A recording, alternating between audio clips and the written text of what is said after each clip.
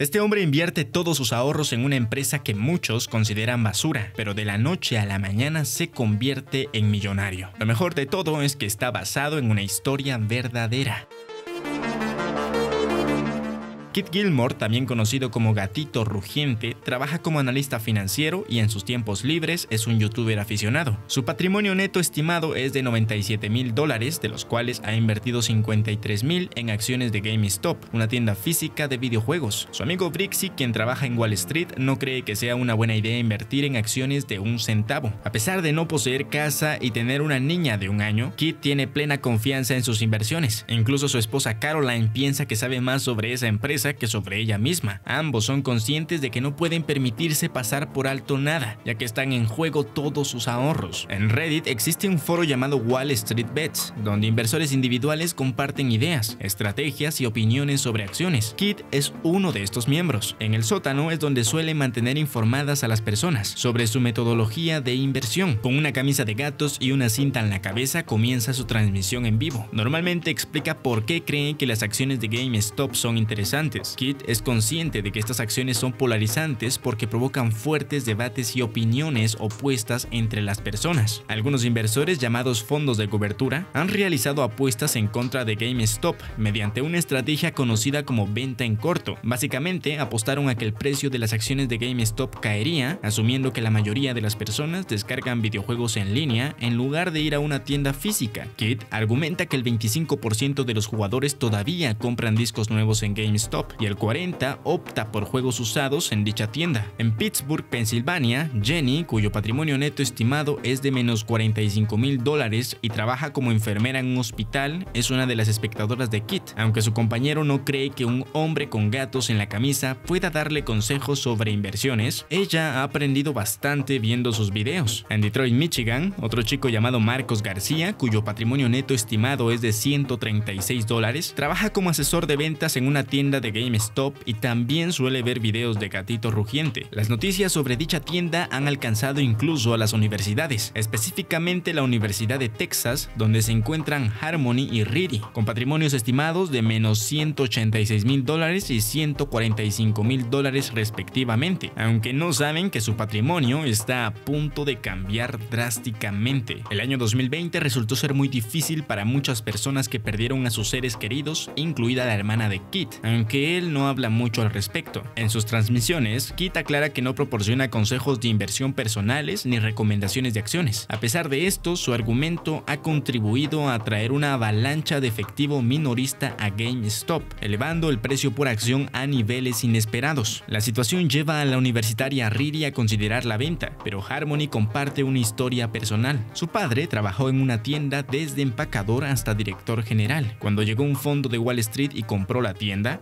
absorbió todo el dinero posible antes de declararla en quiebra. Esto resultó en la pérdida de la pensión de su padre, quien tuvo que trabajar en otro lugar hasta su fallecimiento. Harmony compara esta situación con la que intentan hacer con GameStop, lo que motiva a ambas a no vender y en cambio a invertir más en la empresa. Cientos de miles de personas descargaron aplicaciones de inversión como Robinhood para unirse a la acción. Los directores de Robinhood son Bayou y Vlad, con un patrimonio neto estimado de un billón de dólares. Los usuarios recurren a su aplicación porque es gratuita. Han creado el comercio sin comisiones para facilitar la participación de cualquier persona en el juego, incluso sin necesidad de una cuenta bancaria. Actualmente cuentan con alrededor de 20 millones de usuarios, pero ¿cómo ganan dinero si no cobran comisiones por las operaciones? Cuando los usuarios compran o venden acciones en la aplicación, Robinhood envía las órdenes a los creadores del mercado, quienes procesan las transacciones y reciben un pequeño descuento por cada operación. Coincidentemente, el creador del mercado con el que trabajan es Citadel, cuya firma pertenece a Ken Griffin, un gestor de fondos de cobertura. Debido a la pandemia del año 20, varias personas cerraron, excepto GameStop, cuyos ingresos están por los suelos. Sin embargo, las acciones han sido volátiles y con el tiempo han ido subiendo. A finales del año anterior, los fondos de cobertura comenzaron a vender las acciones de la tienda que tenían en stock. Habían apostado en contra de ella y necesitaban que el precio bajara para que sus inversiones tuvieran éxito. Ahora, desafortunadamente para los fondos de cobertura, los pequeños inversores han empezado a comprar las acciones, liderados por la página de Reddit Wall Street Bets. Estos decidieron castigar a los grandes de Wall Street y lanzaron una oleada de compras coordinadas. Como consecuencia, las acciones de GameStop se vuelven una locura, experimentando un aumento del 90% en solo un día. Kit gana 11 millones en acciones mientras que Jenny gana 58 mil. Las universitarias también se encuentran en un dilema ya que por un lado tienen una deuda estudiantil de 100 mil dólares. Sin embargo, Harmony solo estaría convencida de vender si Gatito Rugiente lo hace. Desde el nacimiento del mercado de piedras, dos clases de personas se han enfrentado entre sí, leones y llenas. Estos leones, los fondos de cobertura de Wall Street, lo tienen todo, billones de dólares, nacieron con cucharas de plata en la boca, tienen enormes cuentas bancarias, comen filetes de grado A medio crudo, frecuentan los mejores clubes y tienen las mejores fiestas en yates. Cuando alguien les pregunta cómo tienen tanto dinero, responden, dinero tonto, nena, dinero tonto. Puede que seamos las llenas, pero si reúnes un número suficiente podrías destruir a un león. Aquí es donde entra en juego Gabe Plotkin, fundador del fondo de cobertura Melvin Capital, cuyo patrimonio neto estimado es de 400 millones de dólares. Gabe hizo una venta en corto de 600 mil acciones de GameStop. Está tranquila y cómodamente en su mansión hasta que las noticias empiezan a llegar. Sin embargo, tiene fe en que en unos días los accionistas decidirán que el precio de las acciones ha subido lo suficiente y se retirarán. El resto lo seguirá y todo se vendrá abajo. No podría estar más equivocado. Pronto las acciones ganan un 103%. No se ha visto nada igual y en las noticias lo empiezan a llamar el último estrangulamiento de cortos. Básicamente es cuando un grupo de traders fuerza el alza de un activo para obligar a los que vendieron en corto a tener que comprar. Las acciones de GameStop llegan a subir un 581%. Kit llega a generar 4 millones el día anterior y 5 millones ese mismo día. Él y su esposa se vuelven increíblemente ricos. Por otra parte, Gabe, en su fondo de cobertura que había apostado en corto en esta empresa, pierde un billón de dólares el día anterior y otro billón de dólares ese día. Pronto se empieza a rumorear que este fondo de cobertura está en bancarrota, pero para evitarlo, Gabe se pone en contacto con Steve Cohen, director general del fondo de cobertura Point 72, cuyo patrimonio estimado es de 12 billones de dólares. Además, también se comunica con Ken Griffin, fundador y director general del fondo de cobertura Citadel, cuyo patrimonio neto estimado es de 16 billones de dólares. Juntos le dan 3 billones a Melvin Capital para intentar un rescate. Escuchar esto desconcierta a Jenny, a quien su esposo dejó sola con dos niños pequeños, una hipoteca y un auto que no funciona. Sin embargo, nadie trató de rescatarla. Aún así, está decidida a mantenerse hasta que Gatito Rugiente lo haga y prefiere seguir acumulando deudas en tarjetas de crédito antes que vender sus acciones. Marcos tiene 175 mil dólares en acciones y cuando sus padres se enteran, al igual que todos, le recomiendan vender. Las noticias de GameStop se vuelven tan virales que incluso llaman la atención de la Casa Blanca. Lo presentan como los pobres contra los ricos y quienes en ese momento ganan son los pobres. Se recomiendan unos a otros que lo que deben hacer es aguantar, así como lo hace Gatito Rugiente, quien ahora tiene 47 millones en acciones. Sin embargo, una mañana se despiertan y se topan con que Wall Street Bets ha sido cerrado debido a contenido discriminatorio y de odio, pero la verdadera intención es evitar que la gente hable entre sí. Además, no podrán ver el balance de Gatito Rugiente que también empieza a tener problemas. Le llega una llamada de su trabajo donde se le pide que renuncie o de lo contrario será despedido. Las universitarias piensan que nadie aguantará si no pueden ver lo que los demás están haciendo, por lo que deciden vender sus acciones a 150 mil dólares. Por la noche les cuesta conciliar el sueño y arrepentidas deciden que a la mañana siguiente volverán a comprar sus acciones. Sin embargo, al despertar se dan cuenta de que la aplicación Robinhood ha cortado la opción de compra. Resulta que le solicitan un depósito de 3 billones para compensar todas las operaciones que entren a la aplicación, pero la empresa no cuenta con esa cantidad. Por ello, Vlad llega a un acuerdo con ellos donde aceptarán un depósito de 700 millones si cierran las compras. Sin nadie comprando las acciones, estas van a la baja, pasando de 486 dólares a 140. Pronto, las críticas se centran en Robinhood por abandonar a sus seguidores y ayudar a aquellos que habían ido en corto. Después de bloquear el comercio, Robinhood se enfrenta a demandas donde se le acusa de manipular el mercado. Las cosas se salen fuera de control con periodistas acosando a Kit fuera de su casa, quien perdió 15 millones ese día y otros 15 el día anterior. Además, recibe una citación del Congreso. Jenny, que tenía medio millón en acciones la semana pasada y podría haber cobrado para pagar su hipoteca, ponerle brackets a su hijo y comprarse un auto nuevo, decidió no hacerlo y ahora se arrepiente. La audiencia se llevó a cabo el 18 de febrero de 2021, donde se planea examinar la reciente volatilidad del mercado. Se ha demostrado el enorme poder potencial de las redes sociales en los mercados. Por eso, reúnen no solo a Kit, sino a todos los testigos relacionados con este hecho. Griffin menciona que habla rutinariamente con Robin Hood, pero que no tuvieron ningún papel en la decisión de la aplicación para evitar que la gente comprara acciones en GameStop. Gabe no se da cuenta de que tiene silenciado el micrófono por lo que nadie escucha lo que dice. Vlad trata de eludir las preguntas que se le hacen hasta que llega el turno de Kit. Su familia no es rica, su padre era un camionero y su madre una enfermera titulada. Él fue uno de tres hijos y el primero de su familia en obtener un título universitario. De 2010 a 2017 hubo periodos significativos en los que estuvo desempleado. Entonces se interesó por el mercado de valores y aunque tenía muy poco dinero, utilizó su tiempo para educarse y aprender más sobre inversiones. Él cree que es alarmante lo poco que se sabe sobre el funcionamiento interno del mercado. La idea del mercado de valores es que debe ser como una especie de campo de juego justo, donde si eres inteligente, tal vez con un poco de suerte podrías hacer tu fortuna. Pero si alguna vez fue así, desde luego ya no lo es. Las grandes empresas tienen una gran ventaja en términos de tecnología e información y pura riqueza, y ya no hay esperanzas para el individuo pequeño, aunque quizá ahora sí las haya.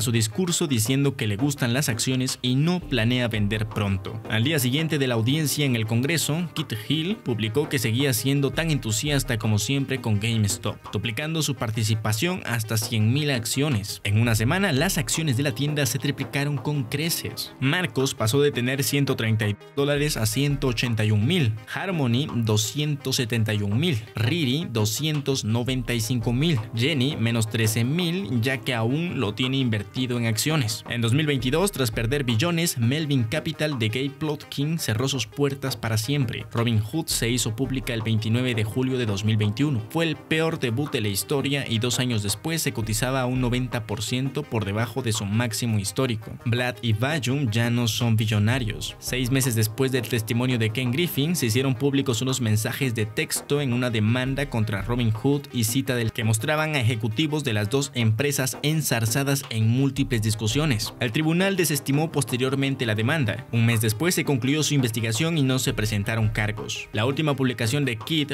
fue el 16 de abril de 2021, con un patrimonio de 34 millones, y desde entonces se retiró de la vida pública. Pero el movimiento que comenzó es solo el comienzo debido al repunte de GameStop. El 85% de los fondos de cobertura rastrean hoy en día la internet para ver dónde invierten los traders minoristas, temiendo otro estrangulamiento de cortos. Los fondos han reducido drásticamente sus posiciones en corto. Wall Street ya no podrá volver a ignorar el así llamado dinero tonto nunca más.